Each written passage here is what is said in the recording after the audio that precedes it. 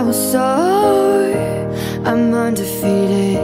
Oh, jumping out of my skin, pull the cord. Yeah, I believe.